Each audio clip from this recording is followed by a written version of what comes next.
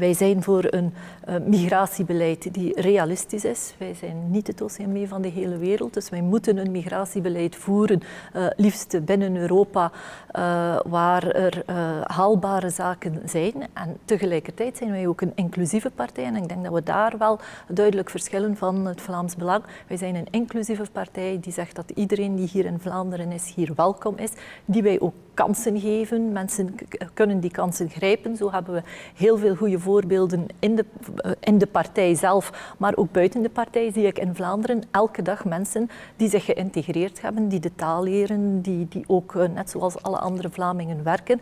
En daar ligt de grens voor ons uh, op aanvaard je onze westerse waarden en normen, waarden van vrijheid, gelijkheid.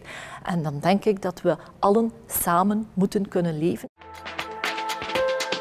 Volg Vlaams Parlement TV op Facebook en Twitter en bezoek onze website op www.vlaamsparlement.tv.